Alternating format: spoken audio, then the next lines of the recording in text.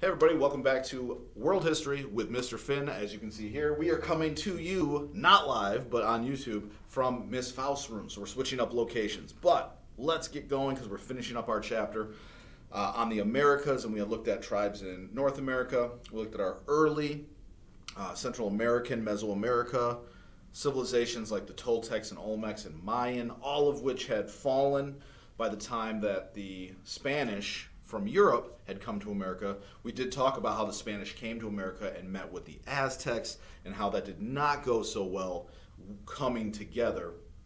Uh, and now we are on to our final group, and that is the Incas. So we are talking about the Inca today. Now, here are some fun fact quiz things that might come up. The Inca are going to be located in South America located in South America. So it's a little bit of a ways away. Uh, Central America is connected to South America, but they are going to be on the west coast uh, or west, western, say west South America.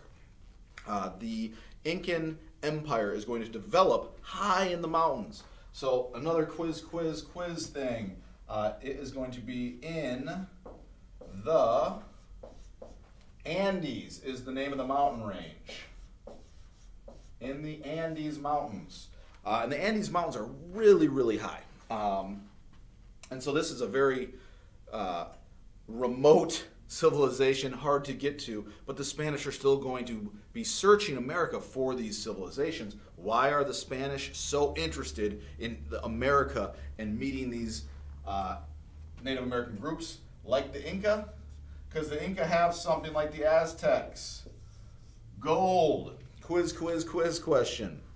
What do the Spanish conquistadors really want more than anything at all? Uh, gold. And so they, once the gold starts coming back from the interactions with the Aztecs, as we move another five years from then, uh, the Inca, the Incans are going to come into contact with the Spanish as well, because the Spanish start to go, hey, there's a lot of gold here. Let's just start looking around for everything. Um, but before we get to the, the end of the Incas, let's talk about a few things about the Incans. Uh, one, again, they're in South America on the west side. They're up in the Andes mountain range. Uh, they had a very they, they had a very advanced system of, of like government, you would say. So the Inca, some of the main things that you would want to know about the Inca that might be on quiz stuff is, um, you know, their government uh, they still had the same uh, leadership like the Aztecs or even the Mayans or a lot of these cultures did, which they would have a king who was uh, descended from the gods, a god himself, absolute ruler. However, what the Incans do with their government and the structure of it is they create, uh, the government uh, operates or runs um, from communication. And what is that communication? How does that work? If I'm going to be even more specific, this commu- runs from these communication posts. They have a large system of roads. Roads and what we would call runners. So here's how it works. The Incan Empire, this is a lot like Rome too. Remember, Rome set up a, a, almost a system of highways, paved roads built with stones on top, um, and they could get from one place to another very quickly. The Incans are the same way. So we're talking about the Incans in a very complex understanding of, hey, if we're going to have this huge empire, we need to be able to have information getting to us from all ends of it. And so they create this huge system of roads uh, through the mountains. Uh, they have runners who go place to place and there's stops along the roads to get the messages quicker uh, back to the head of the government and the people who are in charge. And so they're going to have a very tight rein on their empire, and you need this to be uh, productive or to have a strong uh, an empire that can, can last and you can control. Um, some of the other things about the Incans. They have an odd system of record keeping called Quipu with a Q. Uh, I want to make sure I spell it right because Quipu always, always gets me. It is still a U, huh? All right. Quipu. This is a, uh, it's not it's not a writing system. It's um, knots. I'll, ju- I'll just write out the definition. Knots in string to keep records. So this is something else we, I mean, in world history we see this a lot where uh, because different civilizations exist in different places, grow up at different times, come together at different times, at different eras, and different centuries, you get a lot of different things. So we had like glyphic writing where it's pictures meaning words. We have phonetic uh, alphabets where like the letters actually are sounds. Uh, like we have a phonetic uh, alphabet. Like our letters in our alphabet make sounds. We put those sounds together to make words, and you can read it. Quipu is knots in strings to keep records. So it would look something like this. So you would have some something like this where all of the strings are um, tied to, and then when, within that you would have different knots tied onto the string or with the string. You know, tie a knot with a string. That would mean different things. And so this is their system of record keeping, which is, you know, this is the this is the thing about world history and different civilizations is you or I might see it and have no idea what it means, and only the people there understands what it means. And this is something that makes hieroglyphics or the glyphic writing of the Mayans and the Aztecs or Quipu challenging for us to figure out exactly what it means. You need to decipher it, uh, unlock the code to understand what these mean so that you can read it because those people aren't around anymore in the in the same way um, that would understand and be able to explain it to us. Uh, but that's another interesting thing about the Inca. Uh, they were a very strong empire. They did have a lot of gold. They did. They were polytheistic. They had a system of record keeping. Uh, they had a large capital city in Cuzco. Capital city. This might be a quiz quiz question is in Cuzco.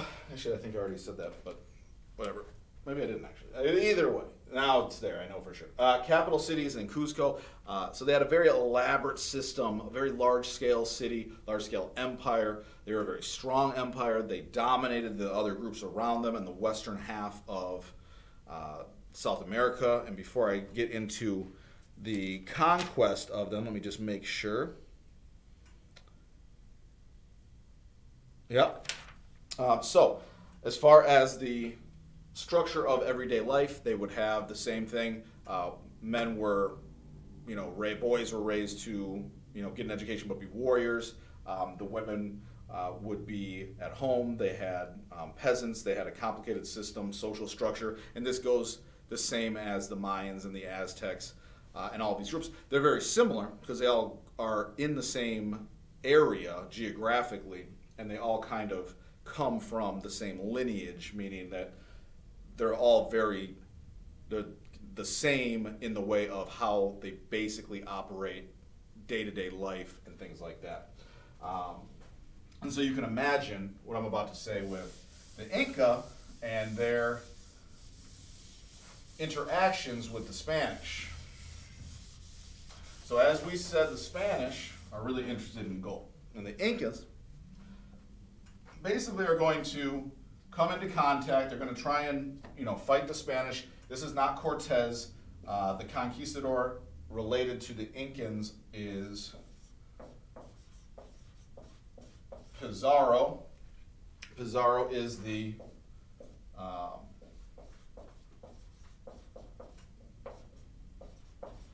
got it all in there. Conquistador, which again, just in case, let me get it all in here, is a Spanish a Spanish soldier. So, a conquistador is a Spanish soldier. Uh, this time around, it is Pizarro. Let me tell you about Pizarro very quickly. Um, let me get some room. He is a conquistador. Um, Pizarro is mean. I mean, Cortez was mean. They, the, the Spanish treated the, the Aztecs and the Incas uh, as subhuman almost because to them, they were, I guess the word would be like uncouth, uncivilized.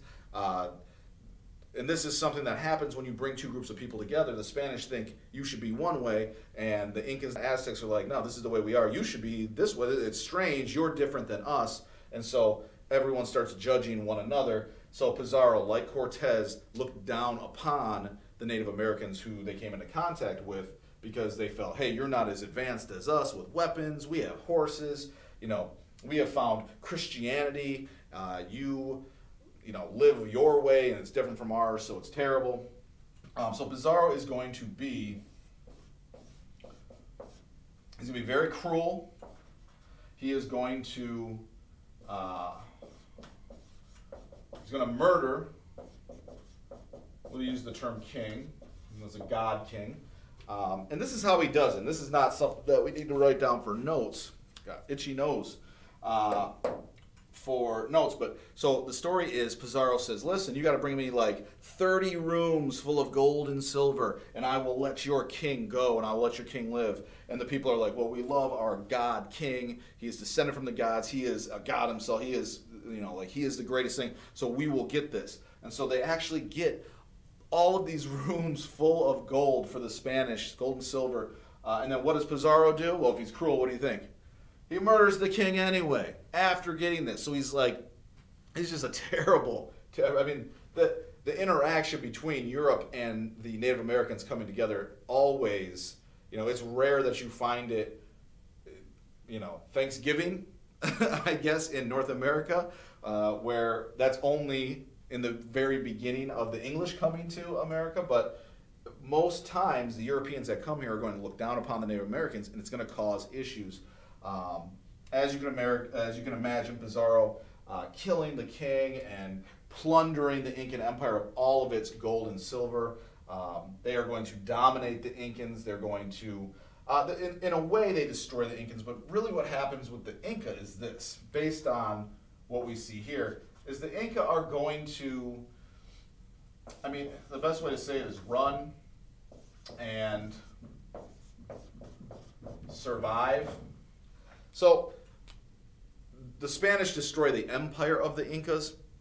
However, after this Incan empire is destroyed, as far as its system of roads and government and daily life and trade and uh, you know astronomy and all of the things that all of these uh, empires had, uh, the Incans will still be a people.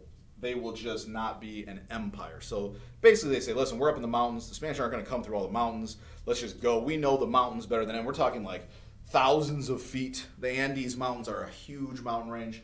So the Incans are going to essentially run and survive, spread out in different you know areas and different groups. But the Incan Empire will fall uh, to the Spanish and Pizarro, uh, you know, in the 1500s, leading to again where we end up today, which is um, really when you get into other than you know the Portuguese will come as well, but we don't we don't get too much into the Portuguese yet. Um, but what we're going to see a lot in modern day Mexico, modern day Latin America, and other areas uh, is uh, Spanish. It's called influence. So it's called Spanish influence, meaning that the Spanish culture, the Spanish aren't going to go away. The Spanish are here. They take gold, they start shipping it back to Spain. Spain becomes a very powerful country, the most powerful country in all of Europe in the 1500s because it has all of this gold and silver. Um, but the Spanish, because it has a steady stream of gold, aren't going to leave. And so we see the Spanish influence, like we talked about last class, where you know, if you go to Mexico, you'll speak Spanish. There's Christianity. Uh, there's very little in the way of you know the Native American culture within these groups. So the Europeans that come here dominate the culture um, and turn the this area into basically colonies that they control and own. Um, so we will see more of that as we move forward because we're about to hit soon. We're going to hit the age of exploration in Europe because Think about this. If you're England, if you're France, if you're, you know, Portugal, I just said, if you're any of these other countries in Europe and you go, look at Spain. Spain went and discovered these new continents. And when they discovered these new continents, they found people there. And now they have gold and silver. They're the richest country in the world. Oh my goodness, we want to do that as well. So, unfortunately, we are going to see Europe try to exploit the Americas and say, listen, it's there, there's gold there, let's get rich like Spain. And other, it's going to spur on other countries to say, let's start going out on ships. Let's start seeing around the world. Let's start to explore and find stuff so that we can be rich like Spain. Uh, so we'll get to that coming up. But for today, let's just go ahead and give me the notes uh, for your assignment, and uh, we'll be moving on back to where we're at, 1500s, moving forward now. Uh, most of it is going to be what's happening with interactions from Europe to America, um, new revolutions in Europe, new things happening here in America, and that's probably about where we're going to stay. Africa comes into it a little bit as well.